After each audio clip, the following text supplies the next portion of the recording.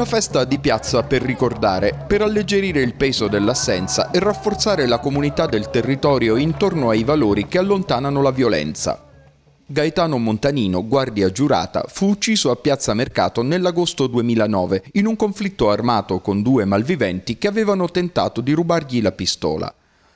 In occasione della festa di San Giorgio, patrono delle guardie giurate, gli studenti del quartiere hanno animato una celebrazione in piazza, cui ha preso parte anche la figlia di Gaetano, la giovane attrice Veronica Montanino. Gaetano era uno di noi, eh, noi lo chiamavamo Mimmo, era una guardia giurata che viveva questo territorio tutelava in modo particolare i commercianti e le aziende che a quel tempo comunque erano floride e molto presenti sull'intero territorio di Piazza Mercato. Memoria, ricordo per non dimenticare, per lottare sempre per una maggiore sicurezza contro la criminalità, la criminalità organizzata e nel ricordare con affetto chi ha perso la vita per difendere poi alla fine la nostra comunità, la nostra città e una maggiore vivibilità.